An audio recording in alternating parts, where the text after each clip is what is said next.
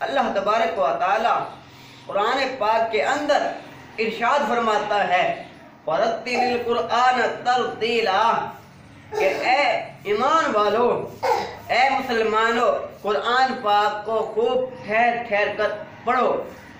दूसरी आयत करीमा जो मैंने आपके सामने तिलावत की है, वो भी आपके सामने दोबारा तिलावत करना चाहूँगा। अल्लाह तबारक व ताली इरशाद फरमाता है इन हादल कुरान अकवम अल्लाह तबारक व ताली इस आयत करीमा के अंदर ये इरशाद फरमा रहा है कि इन हादल कुरान के बेशक ये जो कुरान पाक है यह यहदी अकवम ये लोगों के लिए सबसे सबसे ज़्यादा ही हिदायत और सीधे रास्ते दिखाने का ज़रिया है तो पता चला कुरान पाक अल्लाह तबारक व की मुबारक किताब है। अल्लाह तबारक व ताली की तरफ़ से मुनजल मिल्ला है और ये हिदायत का सामान लेकर आई है।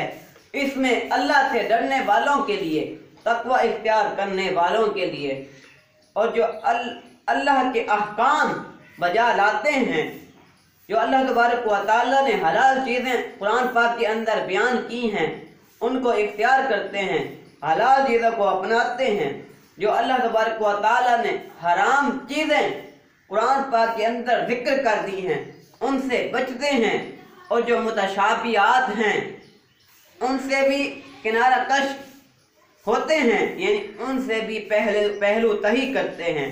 तो पता चला कि कुरान पाक के अंदर अल्लाह तबारक व ताली ने हर चीज़ का ज़िक्र कर दिया है। कुरान पाक के अंदर अल्लाह तबारक व ताली ने हर खुश और तर चीज़ का ज़िक्र कर दिया है। मैंने आपके सामने जो आयत करीमा तिलावत की हैं उनका मफहूम और उनकी तशरी हम अदीस मुबारक के ज़रिए करेंगे। एक हदीस पाक आपके सामने बयान करना चाहूँगा। हजूर सलाम का फरमान दीशान है।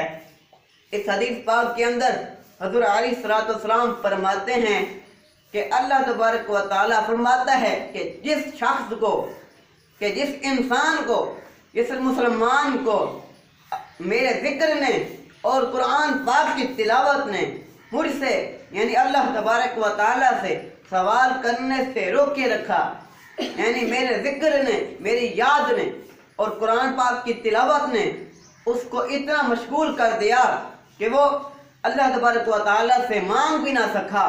अल्लाह तबारक व से अपनी हाजत तलब भी ना कर सका। अल्लाह तबारक व के हजूर सवाल ना कर सका। तो अल्लाह तबारक व ताली इरशाद फरमाता है कि मैं उसको, ये हदीस कुदसी है। हजूर सलाम अल्लाह तबारक व ताली की तरफ़ से जो कलमात इरशाद हुए हैं, वो बयान फरमाते हुए कहते हैं कि अल्लाह तबारक व उस शख्स को इतना देता है, जितना मांगने वाले को नहीं देता।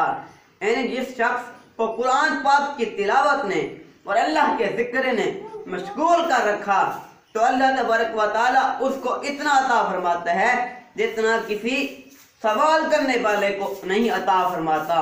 और अल्लाह तबारक व ताली फरमाता है, हजूर अली सलाम बयान करने वाले हैं कि अल्लाह तबारक व ताली ये इरशाद फरमाता है कि अल्लाह तबारक व ताली के कलाम की, इस कुरान मजीद की फुरकान हमीद की बाकी किताबों और बाकी कलाम पर फजीलत ऐसी है जैसे, यानी इसकी शान और बरकतें और इसकी रहमतें और इसको अल्लाह तबारक व ताली ने इतना शान और मरतबा अता किया है कि अल्लाह तबारक व ताली फरमाता है कि इसकी बाकी कलामों और बाकी किताबों पर और बाकी जो अल्लाह तबारक व ताली ने या दुनियावी अलूम हैं उन पर कुरान पाक की फजीलत ऐसी है, जैसे अल्लाह रब्बुल इज़्ज़त की।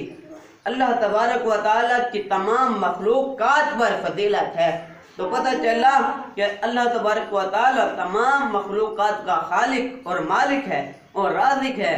तो कुरान पाक भी अल्लाह तबारक व ताली की तरफ़ से नाजिल शुदा हिदायत का और नूर का पैगाम लेकर आई है।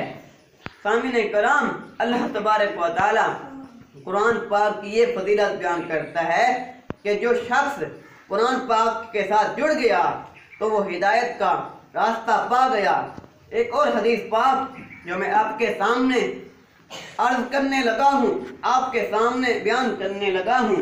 हजूर सलाम ने फरमाया कि मैं तुम्हारे दरमियान तुम्हारे दरमियान दो चीज़ें छोड़कर जा रहा हूँ।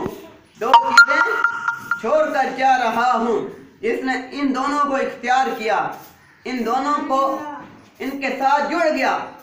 इनको अपनी ज़िंदगी के अंदर नाफिज कर दिया। तो अल्लाह तबारक व ताली उसको कभी गुमराह नहीं करेगा। वो इन दोनों के ज़रिए जन्नत में जाएगा। एक अल्लाह तबारक व ताली की किताब, यानी कुरान पाक, जो इस जो बंदा, जो शख्स इसके साथ जुड़ गया, इसको अपना लिया और इसके इसके जो अहकाम हैं उन पर अमल किया तो अल्लाह तबारक व ताली ऐसे शख्स को गुमराह नहीं करेगा ऐसे शख्स को जन्नत में भेजेगा। और दूसरी है सुन्नत रसूलुल्लाह। हजूर सलाम के मुबारक तरीके। हजूर सलाम के मुबारक रास्ते। और हजूर सलाम ने जो तालीमत दी हैं